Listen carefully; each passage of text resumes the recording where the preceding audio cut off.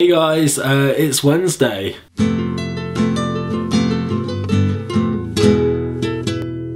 Happy Wednesday. Um, because of my video being late last week in terms of Australian time, it was still posted up on my day, but English times do not matter to Australians, so I get punished. My punishment uh, is to dress up like Edward Cullen and say three quotes from Twilight. Don't actually have any glitter, so let's see what I did instead.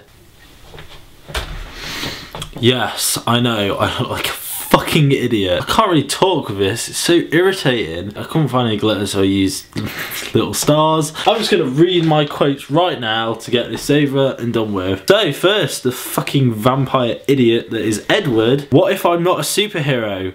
What if I'm the bad guy?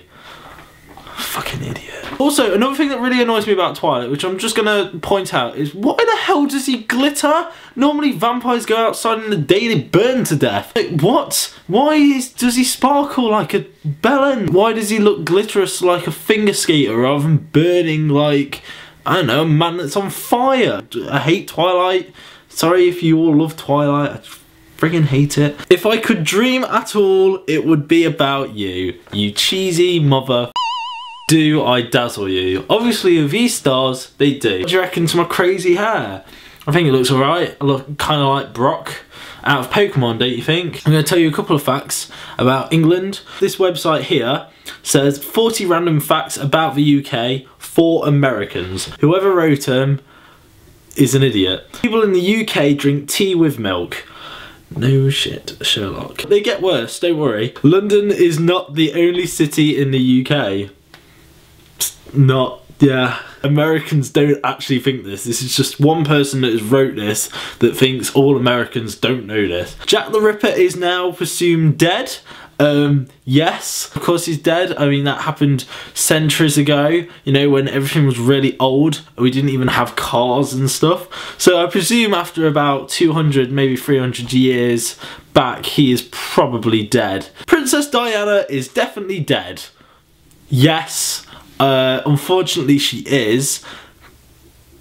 But what? I mean, did you really think that she was alive? Hogwarts is not a real school. Just in case you got confused, J.K. Rowling wrote Harry Potter. Harry Potter went to Hogwarts. Obviously, it was written down in the book. So this person obviously had to investigate that Hogwarts was real or not. I could imagine what it would be like. It'd sort of be something like this. Oh my god! Hogwarts, what? Oh my god, it's not real. I, I must write this down in a shitty little document that, you know, Americans should know. Most women in the UK would regard being called a bitch as a compliment. No! If you called a woman a bitch in the UK, that does not mean, hey, how are you? You lovely bitch. Whoever wrote that is a retard. Um, I'll send the link below so you can look through all of them. I want to say to Hannah that you went a bit mental on your video. Sarah, I couldn't see your crazy hair from the back. Angus, loving the lipstick, you completely trounced us all on that. Sean, get your ass on Skype so we can all have a massive Skype call. I understand that it's really hard you being Canadian. And to be honest, me being British, I'm, I'm always behind you all, so Kiwi, you know, do all your shiz. That is your shiz. Marley, have a really good day tomorrow. I can take this shit off now.